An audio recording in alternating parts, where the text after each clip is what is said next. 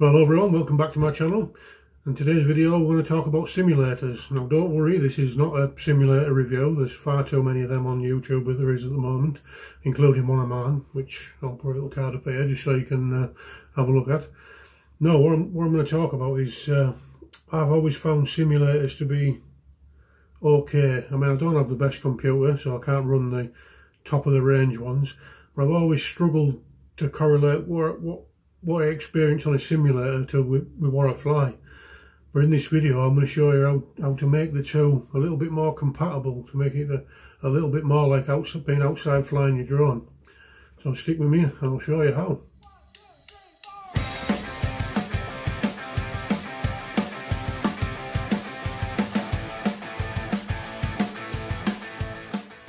Well, in this video we're going to be using the Orqa FPV Skydive Simulator now it's not the best one you can get, but it is free and it does run on my ancient laptop. So that's what we're going to use.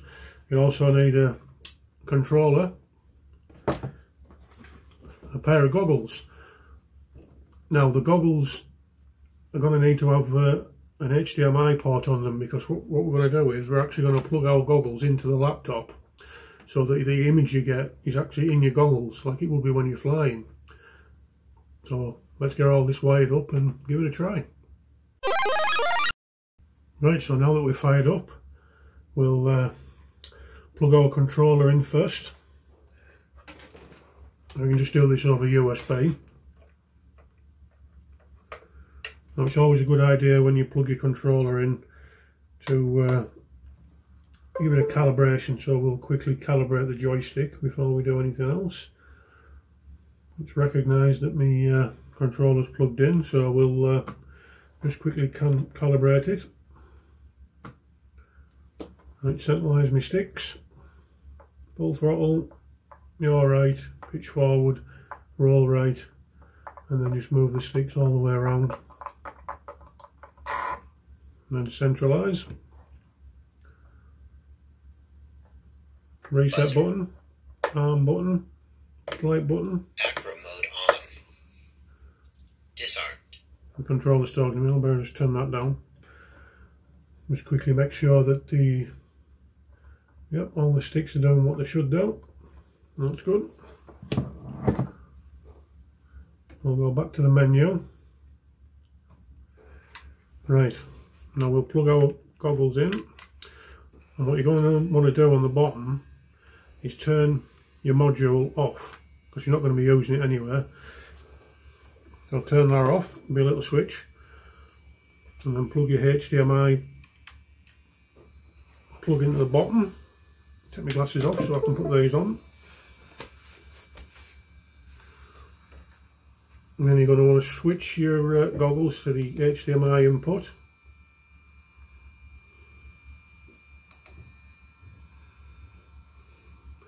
there you go, I've got a clear view of the screen inside now.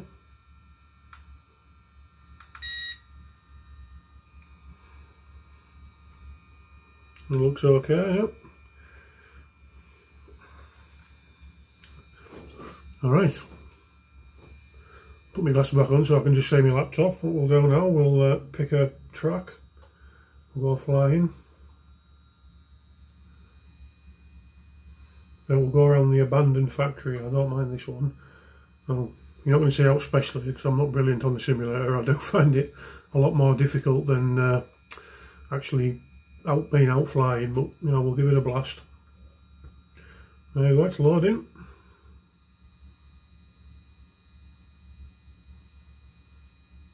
Right, there we are, we're all loaded up. Now some people like to listen to the volume on this, so I'm not too bothered, but uh, there is actually a earphone output on there. You can plug your uh, earphones into your goggles and listen to it so you get the prop sound. I'm not going to bother for this video, but uh, all we can do now, we'll have a little fly about and then see how we go. So I'll be back. Right, there we are, goggles on. Try and find my controller. Armed. Right, let's go.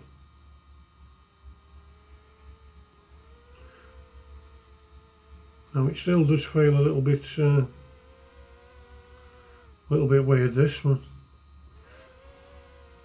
And the frame rate's not the best on my computer, but I must admit I do find this a little bit easier to fly when I have my goggles on than I do when I uh, when I'm just actually looking at my computer. Oh, uh, there you go. Crash one. That's a bonus with simulators, it doesn't actually cost you a penny. But it does feel a lot better. Oh, I don't think I've got my rates set properly on here, but you know.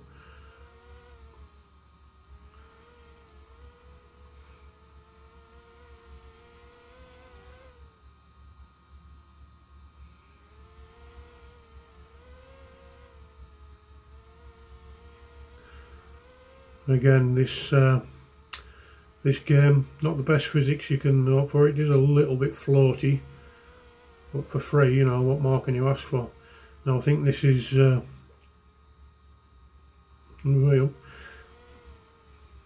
this is supposed to be paired with this new Orqa cheap remote control that's coming out. That's uh, I think it's going to be just have Ghost on it rather than anything else. But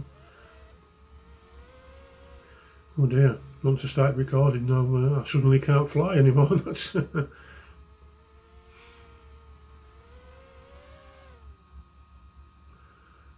split S there. Let's try and get down this chimney. Oh, nearly.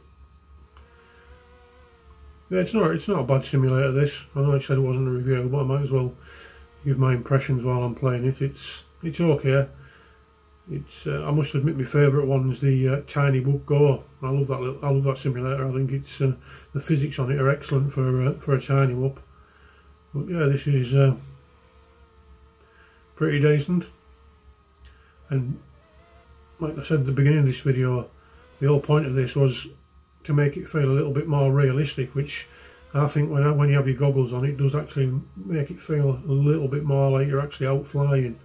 You know aside from having a fan blowing in your face and someone flicking water at you just to get a little bit of, a little bit more realism but you get what I mean.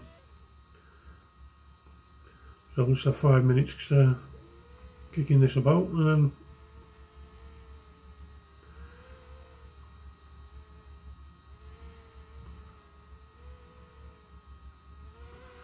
Paolo there on there.